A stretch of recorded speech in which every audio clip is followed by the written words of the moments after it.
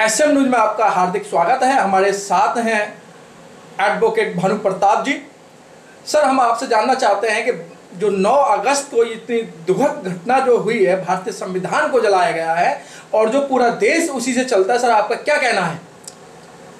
देखिए, संविधान को जलाना मेरे शब्दों में सीधे सीधे एक देशद्रोह का कार्य है। और जिन लोगों ने भी ये काम किया है, वो सारे के सारे देशद्रोही हैं।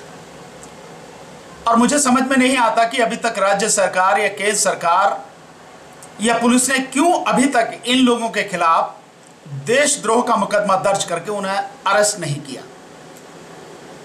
जिस संविधान से देश चलता है, जिस संविधान ने इस देश के, भारत के सभी नागरिकों को जीने का अधिकार दिया है, उन्नति करने का अधिकार दिया है, समानता का अधिकार दिया है, स्वतंत्रता का अधिकार दिया है, महिलाओं को और हर किसी को बराबरी का अधिकार दिया है, उसी संविधान को जलाने पर अभी तक कार्रवाई क्यों नहीं हुई, ये बहुत दुखद है।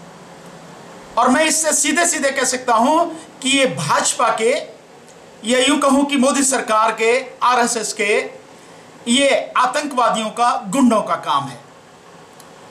वही लोग ऐसा काम कर सकते हैं।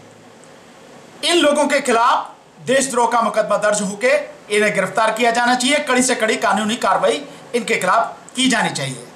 मैं सरकार से ये जानना चाहता हूँ कि दलित समाज के लोगों ने जिन्होंने एस सी एक्ट के विरोध में जो उनका हक था जो अत्याचार उन पर दिन होते हैं और अगर राष्ट्रीय मानव अधिकार आयोग की भी रिपोर्ट आप देखें तो 90 प्रतिशत मानव अधिकार उल्लंघन के जो मामले हैं वो दलित समाज के विरोध में होते हैं।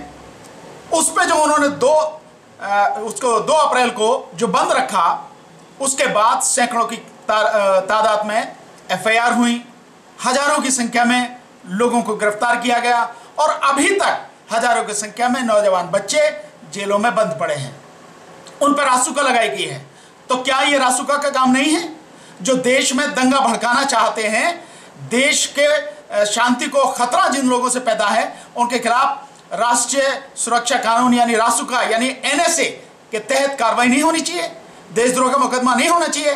और अगर सरकार ने यह अभी तक नहीं किया तो साफ़ ज़ाहिर है कि भाजपा सरकार इसमें शामिल है। मेरा लोगों से सिर्फ़ इतना अनुरोध है, देश की पूरी जनता से अनुरोध है कि इस विषय में बहुत सजगता से काम लें। ये उकसावे वाली कार्रवाई है, ये भड़काने वाली कार्रवाई है, और ये भड़का के अपने जाल में फंसाना चाहते हैं और देश में इलेक्शन से पहले दंगा कराना चाहते हैं। इसलिए मेरा लोगों से निवेदन है, बहुत धैर्य से काम लें। इसका विरोध तो होना चाहिए जितनी भी ताकत से किया जा सके, लेकिन बहुत धैर्य के साथ, बहुत समझ के साथ।